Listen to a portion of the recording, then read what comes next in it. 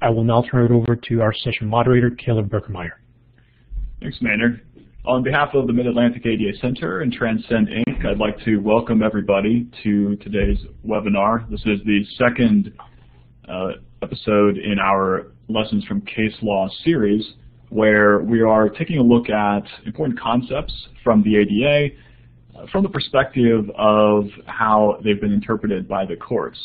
So we thought this would be an interesting way for people to learn about or reinforce that, that knowledge and also come to understand how, how the courts are, are talking about these concepts. I'm going to introduce today our presenter, Rachel Weisberg. Rachel is a staff attorney at Equip for Equality, where she has represented hundreds of clients in individual and systemic disability discrimination cases under Titles 1, 2, and 3 of the ADA and analogous state and local laws. Rachel enjoys providing in-depth client counseling services as well as direct advocacy services in administrative and judicial forums. Rachel also manages Equip for Equality's Employment Rights Helpline, which aims to expand employment opportunities by providing legal and practical advice to applicants and individuals with disabilities. Rachel is a frequent trainer on the disability rights laws and speaks regularly at national conferences and on webinars. Prior to Equip for Equality, Rachel worked for the Civil and Disability Rights Bureau of the Illinois Attorney General's Office and as a law clerk for Chief Judge James G. Carr in the Northern District of Ohio. Now, before law school, Rachel was an information specialist for the Mid-Atlantic ADA Center, and we're pleased to have her back with us for this webinar series and for this second episode. Rachel, I'll turn it over to you. Okay, great. Thank you, Caleb, and thank you, Maynard. Um, I am really thrilled to be back uh, for this three-part series, and um, really so glad to be partnering again with the ADA Center. As Caleb mentioned, I did work there before when going to law school, so it's fun to reconnect with some of my old friends. Um, and also really glad that we have the opportunity today to talk about effective communication in the criminal justice system. Um, this is a really important topic. Um, it's one that I've been working on um, for the last decade or so, and we'll talk about that case as we move forward in today's um, webinar. So some quick housekeeping before we start. Um, this session is available for um, 0.75 hours of continuing legal education credit for attorneys. Um, Equip for Equality is a CLE provider in Illinois, so we absolutely can give anybody who's an Illinois attorney 0.75 hours of CLE. Um, if you are an attorney in a different state, um, we've had some information given to us that other states will accept um, our CLE certification. We can't promise, but it's worth a shot. So what I need you to do, if you are an attorney participating in today's session, just send me an email following the session confirming that you listened to the whole thing, and um, I will uh, get you um, hooked up with a CLE certification. Okay, so here's the plan for today. Um, and I'm sorry, I think I'm supposed to be announcing the slides too. So right now we are on slide 16. Um, the plan for today is that we're going to start with a refresher on the ADA's effective communication requirements. And then we're going to really do a deep dive into how these effective communication requirements have been interpreted and applied in two um, kind of areas of criminal justice. We'll start by looking at law enforcement, and then we'll move on to look at correctional facilities. And in each of those, there's a number of things that we picked out that I, we think are pretty unique to those different, um, those different areas. And at the, at the end, we'll recap the lessons that we've learned. So moving on to slide 17. Um, so uh, anyway, as a quick refresher of the effective communication requirements, remember that entities that are involved in the criminal justice system are going to be covered by Title II um, of the ADA as state or local government facility uh, entities, um, the Rehabilitation Act, or both. And also recall that we've got this general requirement under the ADA called the Effective Communication Requirement. And what that says is really that any covered entity has to provide auxiliary aids and services when it's necessary to communicate effectively with people who have communication um, disabilities. Okay, so what are auxiliary aids and services? Really, they're, they're things or devices that help make information and content available. Um, so the, the ADA gives us some examples, um, and just to name a few of the examples, things like providing information in Braille or in an accessible electronic format. Um, those are auxiliary aids and services. Providing qualified sign language interpreters, written materials, or using communication boards. Those are auxiliary aids and services. So the the the the key, the, the question is, well, how do we know which of those auxiliary aids and services we need to provide to somebody who has a communication-related disability? And the key is really to consider the nature and the length and the complexity and the content of the communication and the person's normal mode of communication. So you can see how you have somebody who has a disability and they're going to need different types of auxiliary aids and services based on the complexity of the communication. So typical example, we've got someone who's deaf. That person person goes to a restaurant, well, they may be able to order with a pen and paper or through lip reading because that's a short, simple, relatively unimportant communication.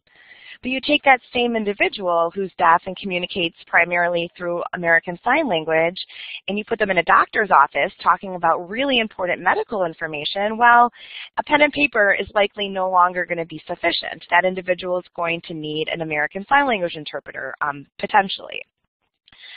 So another important principle that we apply for Title II entities is this concept of primary consideration. And that's a concept we keep in mind when deciding, deciding what what auxiliary aid and service to provide. And primary consideration basically means that Title II entities need to give primary consideration to the choice of the aid or service that's requested by the person with a disability.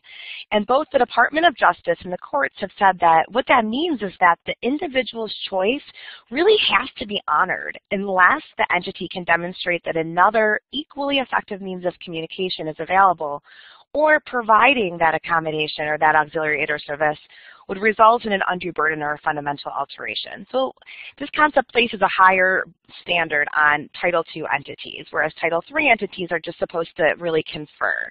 Um, but it really, it, it, it's, an, it's an important Rachel, concept because people Rachel, with disabilities... I'm sorry to, uh, I'm sorry to interrupt. Um, we've lost our captioner. Uh, give me a moment. I'm going to reconnect. Sure. Okay, here we go. And Rachel, you can continue. Okay. Um, and at the bottom of, of, of, this slide, there's a link to a Department of Justice guidance document all about the, you know, the general principles of effective communication, um, which of course come from the Title II regulations. So um, moving on to the next slide, um, I want to kind of give a quick caveat before we jump right in, and that is, you know, these effective communication principles are going to apply broadly to people with all types of communication-related disabilities. Um, that said, you'll notice from today's presentation that the vast majority of cases um, have been about people who are deaf and hard of hearing. I've tried my best to throw in a couple of other disabilities, but there's just not that much out there. But I wanted to make really clear that even though the cases are focused on people who are deaf and hard of hearing, these principles are going to apply to people with all different types of communication-related disabilities. Okay, with all of those caveats and that background, let's jump in and see how these principles play out in the criminal justice system. You know, law enforcement um, poses some pretty interesting and unique issues because, you know, oftentimes police officers arrive on a scene, the scene may be dangerous, there may be people who are engaging in violent and, and very dangerous conduct.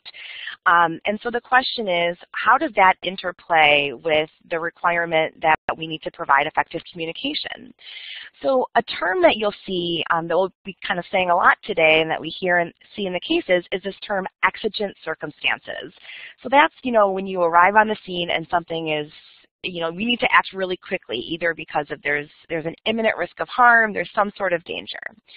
So as a preliminary legal issue, um, there's a question of, well, does the ADA even apply when you're entering this sort of exigent circumstances? Well, the Department of Justice and most courts say, yes, of course the ADA applies. The ADA applies to everything that a state or local government does, right? So it's going to apply to all aspects of law enforcement, even including communications that you have before an arrest. That said, certainly if there is a true exigent circumstance, then that might be a relevant factor when deciding what auxiliary aid and service has to be provided. Um, in my humble opinion, that is a, the correct legal interpretation, um, and it's also, again, the one that the Department of Justice and most courts say. Um, I do want to point out that there are a couple courts, it's the minority view, that have come up with this thing called the Hainze exception. And what that means is that they're saying that the ADA doesn't even apply to an officer's on-the-street responses to a reported disturbance before securing the scene and ensuring that there's no threat to human life. Um, it's kind of a, you know, a, a it's not the majority position, but it, it is the, the position in the Fifth Circuit, which includes Louisiana, Mississippi, and Texas. Um, okay, so what's our lesson? Our lesson is that regardless of the legal framework that we're going to work in, as a practical matter, law enforcement is going to communicate with people both in these kind of emergency exigent circumstances and in more routine non-emergency communications. And it's critical for law enforcement um, entities to really think through and create policies, practices about how to engage in communications in both those emergency and non-emergency situations. Um, I'm going to add in a bonus lesson here, and that is also to provide training, training, training, training, and real-life training to think through what to do in these situations. Um, okay, so let's look at a case that helps us kind of put this, um, make this a little less of a, of a hypothetical. Um, so in the Bircoll case, Bircoll versus Miami-Dade County, um, we have a, a, plaintiff who is deaf, and he was pulled over during a traffic stop. Um, this individual did not use American Sign Language, but he requested an oral interpreter. Um, the officer didn't give him one. The officer instead offered to fingerspell in sign language, um, which the plaintiff explained he doesn't know American Sign Language. So instead they engaged in face-to-face -face communication, and the officer spoke really loudly. Um, during this encounter, he was given a field sobriety test and then ultimately taken to the police station for a breathalyzer and toxalyzer test. Um, but this individual file, filed an ADA lawsuit saying that during these police encounters, he was not given effective communication um, because he was not given this oral interpreter. Okay, moving on to slide 20. Um, in defense of the ADA lawsuit, the county argued, hey, you know, this police officer was engaged in this really exigent circumstance, and so this entire arrest should be exempt from the ADA, kind of relying on that exemption we just talked about. But the court disagreed. The court, which is the 11th Circuit, which is um, Alabama, Florida, and Georgia, they said, we're going to reject this complete exception under the ADA.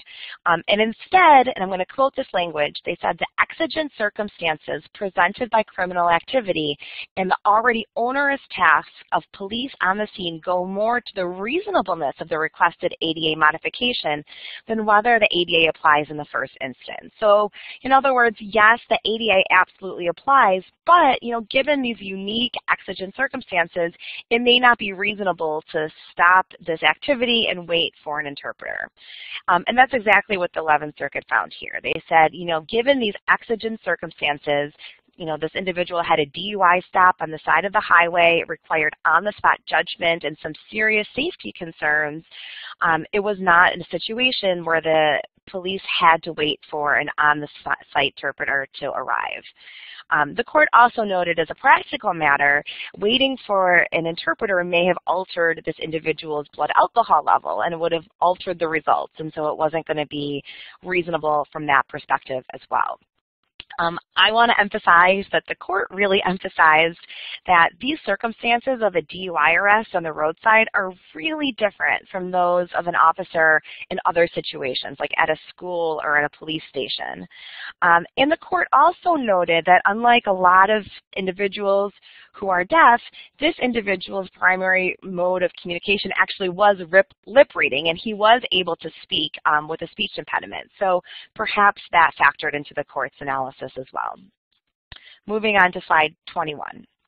Okay, so now that we know that in truly, truly exigent circumstances, we may not need to wait to provide the individual's specifically requested um, mode of effective communication.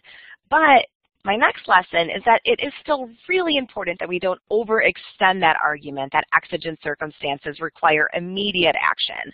Um, and this Taylor versus Mason case um, helps explain why. So this case involves two people. We have a deaf man named Mr. Taylor and Mr. Taylor uses ASL as his primary mode of communication. And then we have Miss Vissing. Um, she's partially deaf, and she knows um, ASL as well. Well, there was an issue where the two essentially alleged that the other assaulted them, Mr. Taylor called the police. The police arrived on the scene. Mr. Taylor requested that he be provided with an American Sign Language interpreter, and the police called and you know requested an American Sign Language interpreter to arrive. So far, everything seems to be going okay. But the problem was that instead of waiting for that qualified American Sign Language interpreter to arrive, the police just moved forward and they used this woman, Miss Vissing, as an interpreter. So Mr. Taylor um, filed an ADA lawsuit, and the court ultimately found for the plaintiff by denying the law enforcement's motion to dismiss. And they said, you know, this was not one of these exigent circumstances where you had to move immediately um, and you could wait and not, you know, and not wait for that interpreter to arrive. You know, once the police arrived on the scene, there was no safety risk, there was no imminent threat to harm. Um, and so in this circumstance, even though, yes, it was a police arriving after a telephone call, you didn't have these types of exigent circumstances, and so the police absolutely should have waited for a qualified interpreter to arrive. Now, hopefully a lot of you are thinking, well, that doesn't seem to be the only reason this is problematic, um, and taking us to slide 22, and that's absolutely right. Um, the ADA's regulations, of course, outline when it's okay to rely on an accompanying adult to facilitate communication, and they give two kind of two different reasons. One is that there's this emergency with an imminent threat to the safety or welfare of an individual, well, as we just discussed, we know that wasn't the case. And the second is when an individual specifically requests the use of an accompanying adult and reliance on that accompanying adult is appropriate.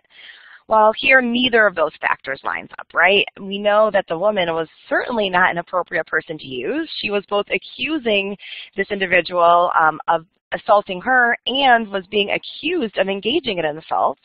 Um, you can't really think of circumstances where someone might be less appropriate. And this individual, Mr. Taylor, never consented to the use. And so it was also a problematic interaction for that reason. Um, this case also gives us some information about the communication at the police station because um, Mr. Taylor was then taken to the police station. He was given an interpreter who wasn't ASL certified. Um, as, as we all know, ADA doesn't really speak in terms of ASL certified. It speaks in the terms of having a qualified interpreter.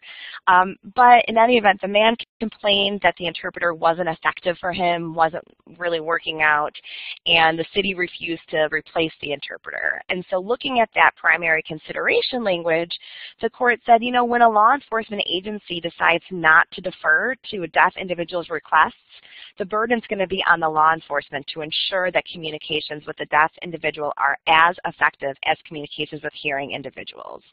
Um, as often happens after these types of decisions, this case um, settles, but gives us some really good guidance, I think, for law enforcement moving forward. Okay, we're going to wrap up, um, move on to slide 23. We're going to wrap up our law enforcement section with an in-depth review of a really comprehensive um, settlement agreement from the Department of Justice. Um, and for those who have heard my presentations before, I, I really like to look at Department of Justice as settlement agreements and really lots of different settlement agreements um, to help us come up with you know, some real practical strategies to implement some of these legal processes because we can kind of learn the legal lessons from cases, but often the cases don't give us um, the, the real roadmap about how to implement some of these legal processes.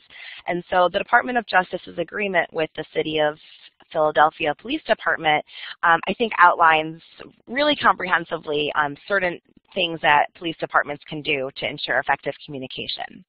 So this um, we're going to start by looking at what the agreement said in terms of these exigent circumstances. And the agreement requires the Philadelphia Police Department um, to, to, ensure that it's providing effective communication, basically to the extent that it can. So it says that if there's an emergency involving an imminent threat to the safety or welfare of an individual, um, including law enforcement and including members of the public, and there's not enough time to make available appropriate auxiliary aids or services, then law enforcement personnel can use whatever auxiliary aids and services are most effective under the circumstances to communicate consistent with an appropriate law enforcement response to that imminent threat. Okay, so let's break that down a little bit more, moving on to slide 24. So essentially what that means is that if you, if you have these exigent circumstances, officers don't necessarily need to completely stop and secure that very specific auxiliary aid and service being requested. So like the Bircoll case, the officer didn't necessarily need to stop the interaction altogether and wait for the oral interpreter to arrive. But that doesn't mean the ADA doesn't apply. It doesn't mean you can totally throw up your hands and say, well, there's no effective communication we can provide. It means we have to do the most effective thing under the circumstances. So even in those situations, we got to look at the most effective thing. And so the example given in the settlement agreement is maybe you can't wait for the ASL interpreter. Well, use pen and paper. You know, that's not the ideal situation. That's not what you're going to do under normal circumstances, but given the exigent circumstances, that might be the best that can be done. Um, but then this other point is really important too, and that is as soon as there's no longer this imminent threat, there's no longer this exigent circumstance, Officers have to then go through procedures to assess someone's communication needs and provide the appropriate auxiliary aids and services to ensure effective communication. Um, also on slide 24, I have a link to the DOJ's agreement with another police department, the Columbia Police Department in South Carolina from 2016, and they have the kind of the exactly same language in terms of exigent circumstances. So I think this is a kind of a good starting point for law enforcement to look at when developing your own policies. Okay, moving on to slide 25. Um, we're going to look a little bit more at some of the Philadelphia settlement agreement because there's some other really great tips in here that we can learn from. Um, so what happened in this DOJ agreement is in addition to discussing the exigent circumstances, they created a whole process to engage in a communication assessment. And one thing that is going to be that that's required is that personnel are going to use what's called a communication card. And it's something that can be used during routine interactions when there's no imminent threat.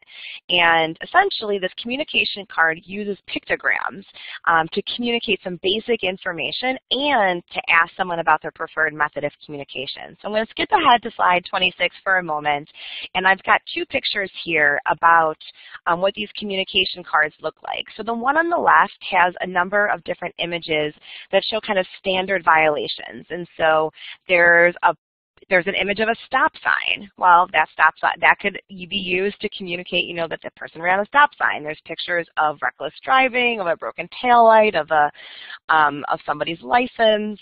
Um, and then on the right, there's an image that says the best way to communicate with me is, and there's images of a sign language interpreter, of captioning, of writing, of lip reading, of something that says I cannot lip read, and so and something that says assistive listening device. So again, it's these cards that can kind of help facilitate facilitate um, the, the communications during these routine interactions. Going back to slide 25 for a second.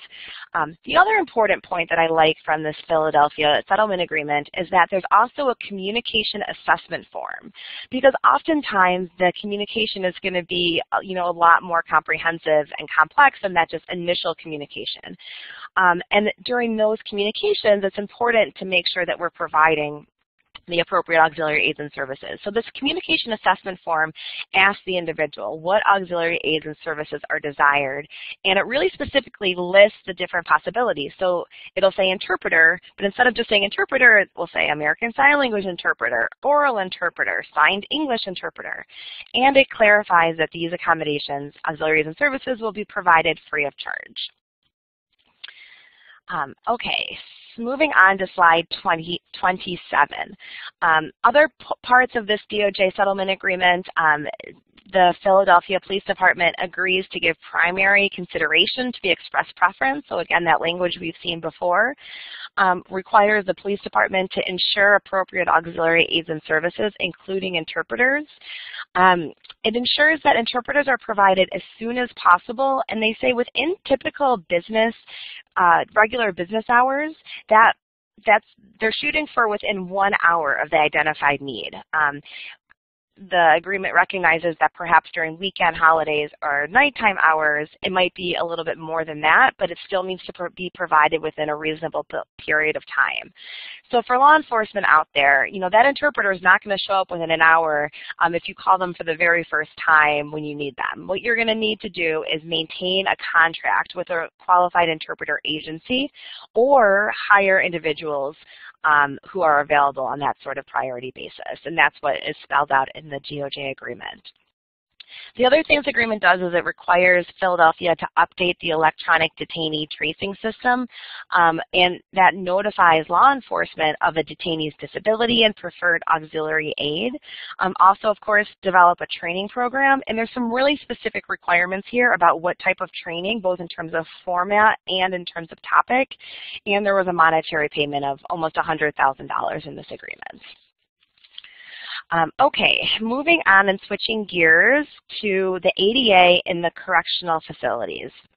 And we are now on slide 29. Um, and we'll talk about a number of interesting and recent cases and settlements looking at effective communication um, in correctional settings. Um, and the first lesson we have here is that when we're providing effective communication, it's important to consider both individually requested needs and systemic changes. Um, and we'll see kind of what that means and how that's applied in a couple of our upcoming cases and settlements. Um, so the first case here is the Disability Rights Florida versus Jones. And this is a lawsuit that was brought about disability uh, people, inmates with all sorts of disabilities, both mobility disabilities, people who are deaf and hard of hearing, and inmates who are blind and had low vision. And um, given that we don't have a lot of other cases about inmates who are blind and have low vision, we're going to focus on that aspect um, of the settlement agreement. So this case settled, and as part of the settlement, there are a number of both systemic changes that are going to be made to the Florida Department of Corrections and processes in place so that individuals can make individual requests. So just as a couple examples of how we're going to be providing effective communication. One is that materials that are being distributed, things like orientation materials, handbooks, signs, paper forms, all of those things are have to be um, have to be provided in an accessible format. Um, there's also a discussion about, well, how about how do people who are blind or have low vision know if um, if, if things are happening kind of throughout the throughout the correctional setting?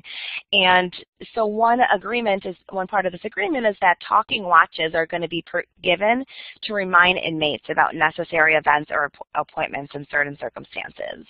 Um, individuals are also going to be provided, um, permitted to have plastic magnifying sheets as an accommodation, something that's not typically allowed but is necessary for a lot of people to have effective communication. Um, the law, the library and the law library are going to have additional um, auxiliary aids and services, things like magnifiers, a CCT video magnifier, large print books, and other resources. Moving on to slide 30. Um, and here we see some of the more systemic changes, uh, kind of the equipment um, acquisition.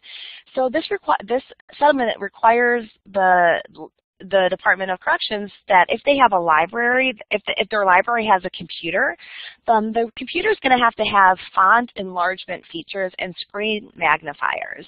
Um, and, and at least one computer in the law library will also have JAWS software and training on that software is going to be available. So you can see how sometimes providing this type of systemic change in the acquisition of, of different technology is the way that they're going to provide effective communication. Um, also upon request and need, there's going to be like a tape recorder to allow inmates to dictate correspondence.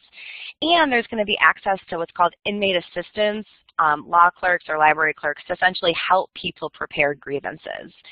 Um, I have another reference on this slide to this case, Wells versus Thaler. And what happened in that case is that there was a blind inmate um, in Texas who requested um, screen reading technology software um, and also braille and audio versions of different legal resources. And instead of providing those, he was given an inmate of his choosing to help him. Um, ultimately, in this particular case, the court found for the Department of Corrections, and the reason why is that they said they tried to get braille and audio version of some of these resources and they weren't available, and they found that this inmate um, was able to obtain the other information through this kind of inmate helper. Um, and I and I bring this up because you know I just want to caution um, law enforcement or correctional facilities who are doing this from kind of overly relying on individuals to provide the types of um, auxiliary aids and services when there could be technology or other things to enable an inmate to be able to be independent. Um, and there have been some cases out there talking about how as a legal matter, if there is a device that would enable somebody to be independent and do something independently, then that's going to be preferable because it enables somebody's independence, which is important even in a correctional setting. Um, and then, of course, as a practical matter, um, sometimes when we rely on other individuals, even when we rely on correctional officers, um, there could be just, you know, there, there could be problems with the implementation. You know, correctional officers have a whole lot to do, and so, you know, kind of giving this additional responsibility is not always the most effective way to implement some of these requirements. Okay, moving on to slide 31. Um, and we're going to look at a number of different cases about prisoners who are deaf and hard of hearing, um, because again, that's been where most of the litigation has been. And we see some common themes in the case law, and we'll kind of we'll kind of go through all of these different themes. But the the first lesson I want to share is, well, how do we decide when to provide American Sign Language interpreters? You know, correctional settings are kind of unique. We have individuals who are housed there 24 hours a day, um, seven days a week, and they need to communicate during that entire time. So, you know, do we need to provide an, an sign language interpreter all the time, or what do we need to do? Um, and kind of as a shortcut, there's been this concept coined in both the case law and in settlement agreements called high stakes interactions. And what we're seeing is that, you know, courts and settlement agreements are saying, well, maybe we can kind of use this as a shortcut to say individuals who are deaf who communicate in, with sign language should be provided with ASL interpreters for all high stakes interactions. Um, and the first, you know, one of the times we see this is in the McBride case. It's McBride versus the Michigan Department of Corrections. And this was a class action brought on behalf of deaf and hard of hearing inmates. It was really broad. It talked about all sorts of things that were happening in the correctional setting. Um, but one of the interesting things about this case is that the, the court actually found um, that they found for the class on a number of different, on three different things. So number one is they said that the Michigan Department of Corrections violated the ADA by failing to provide American Sign Language interpreters. And moving on to slide 32. And so the court actually ordered that the Department of Corrections had to provide American Sign Language interpreters for all high stakes interactions. So again, not a settlement, but a court order. So that was pretty, um, pretty important. And the court also said that that applied even um, for religious services, even though the religious services were voluntary programs um, and they were run by voluntary organizations, that they were still um, important programs that needed to have ASL interpreters.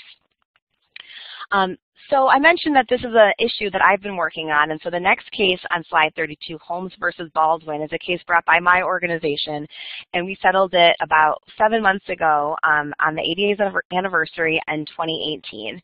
And we also, you know, had an issue about, well, when are we going to have American Sign Language interpreters being provided for our class members whose primary language is ASL?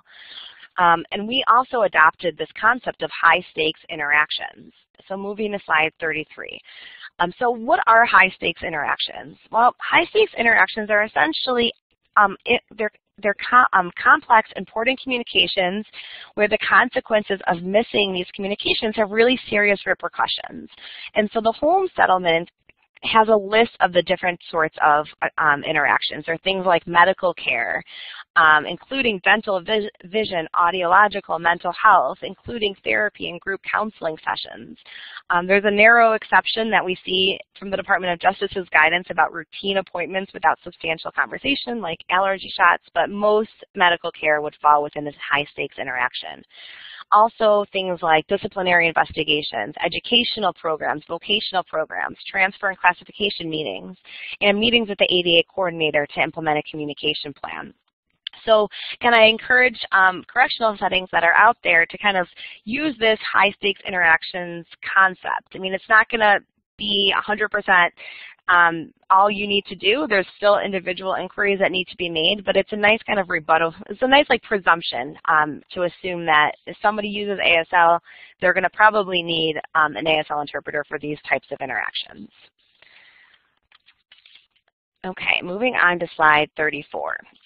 The next lesson is pretty straightforward, and this lesson is that correctional facilities really need to be providing video phones to ensure equivalent access for individuals who are deaf.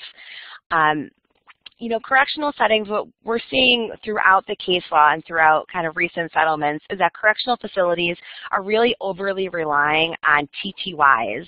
Um, but there's a number of reasons that TTYs aren't providing equal access. Um, one is that TTYs really require someone to be able to speak English, and a lot of folks who are deaf aren't fluent in English.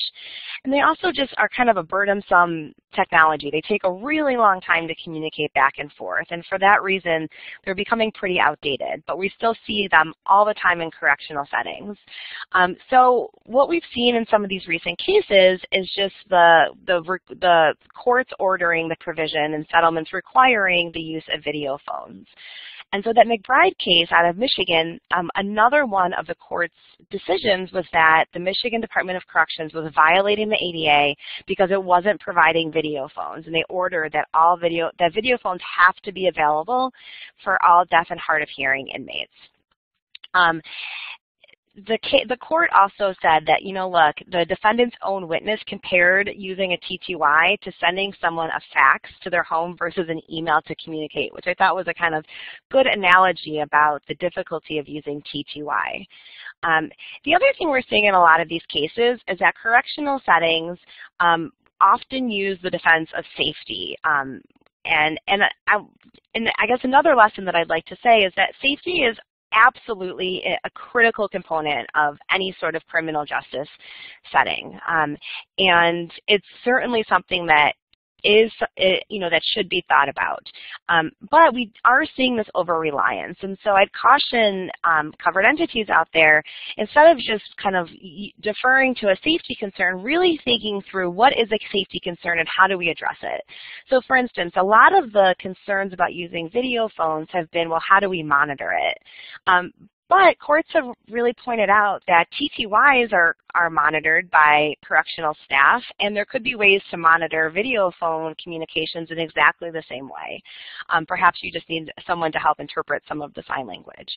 Um, but it's not necessarily a reason to completely accept it. So um, both the, the McBride case and that Holmes settlement are requiring the use of video phones slide 35, I just have a number of other cases where we talk about video phones, and I just want to point out that the Heyer case, um, Heyer versus U.S. Bureau of Prisons, in this case, in addition to um, or actually instead of bringing this case under the ADA, there was a question about whether the failure to provide access to the video phone actually restricted an inmate's constitutional rights or First Amendment rights.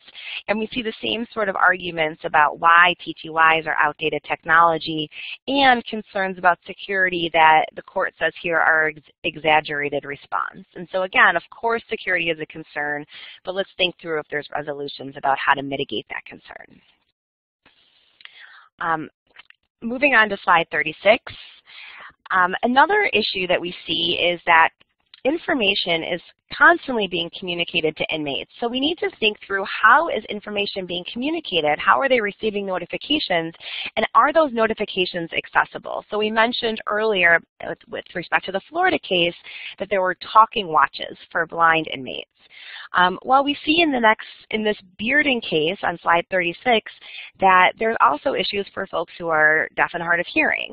Um, the Bearden case was brought by an individual who was deaf and he was constantly missing um, calls to go take his medicine. And the reason why is that this information was being communicated through the jail's alert system, which was all done over a loudspeaker. Well, you know, the court in a pretty quick quick analysis said, well, that's not going to be effective for this individual. He's missing this information.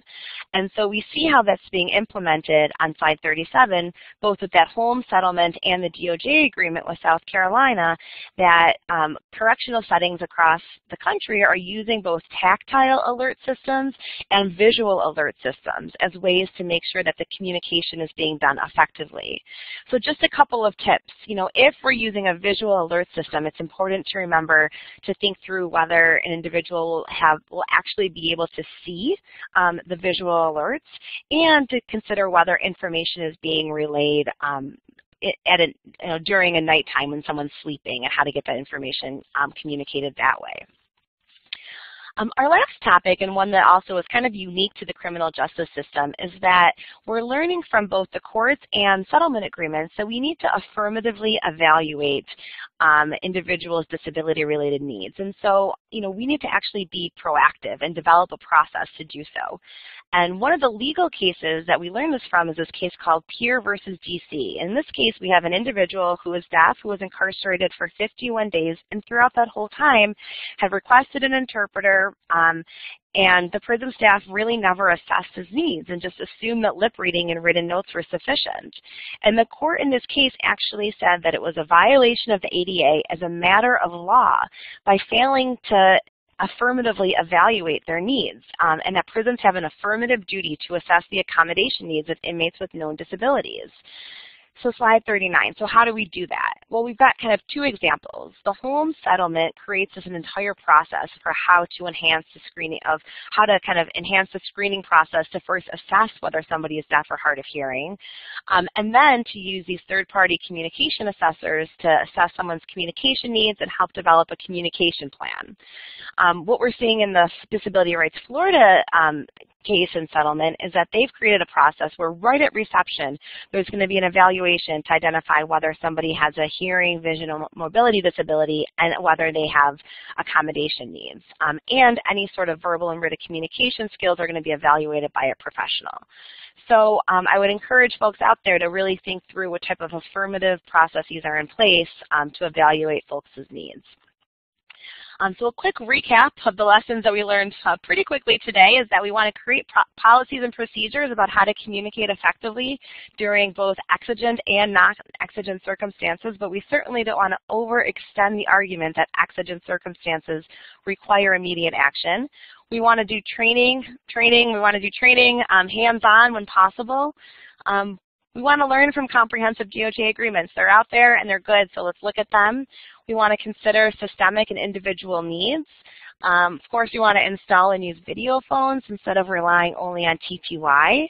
We want to make sure we're providing ASL interpreters and we can use that shortcut about high stakes uh, programs. And you know, we want to contract with interpreting agencies to make sure that we're getting people on a, on a priority basis. Um, we want to ensure that oral information is communicated in alternative ways, and then of course develop a process to assess inmates' um, disability-related needs. Um, so there's a lot of information. We don't have uh, this this program is not um, one where there are questions and answers, but I have my contact information on slide 41, my phone number and email, and I'd be more than happy to discuss any of these cases or chat with anyone, so feel free to reach out to me. Caleb, you're. Well, thank you, Rachel. Uh, once again, it was an episode with lots of great information, and if anyone has any further questions, you can contact Rachel. You can also contact us on slide 42. You'll see uh, our contact info. Um, you can contact the ADA National Network by calling 800-949-4232, and you'll be directed to your regional ADA center. And the National Network website is adata.org. Lots of helpful stuff on there. If you're in the Mid-Atlantic region, you can call us directly at 301-217-0124, and you can visit our website at adainfo.org. Um, also, keep in mind that session evaluations will be sent out for this session, so um, keep filling those out. we really do look at those and appreciate you guys giving us feedback. Uh, slide 43. For upcoming webinars and trainings, you can take a look at our training section on adainfo.org. And for the national network, you can take a look at the events section uh, on adata.org. Slide 44. So uh, I want to thank everybody uh, and apologize for the technical details, but Rachel, I think you, uh, you, you, you handled it well. So thank you for that, and thank you everyone for joining us.